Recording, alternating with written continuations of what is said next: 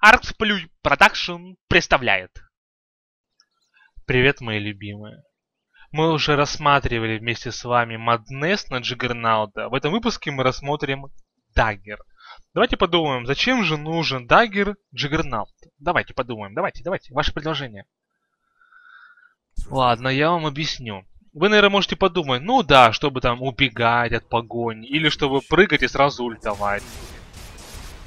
Так можно делать, правильно, но, как я уже глаголил ранее, самый лучший предмет тот, который взаимодействует с нашими скиллами.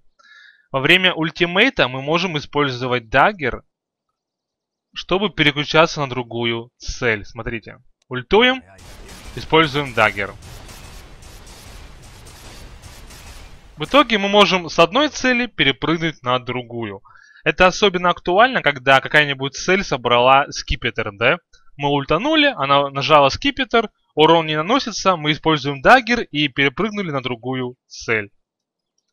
Также это актуально, когда а, ваша цель, вы ультуете на нее, и она прошла рядом с крипами. В итоге ваша ульта переключилась на крипов.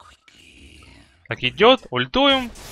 Перепрыгнули на крипов, прыгаем с даггера. И продолжаем ультовать далее. Поставь лайк. Напиши комментарий. Подпишись на канал.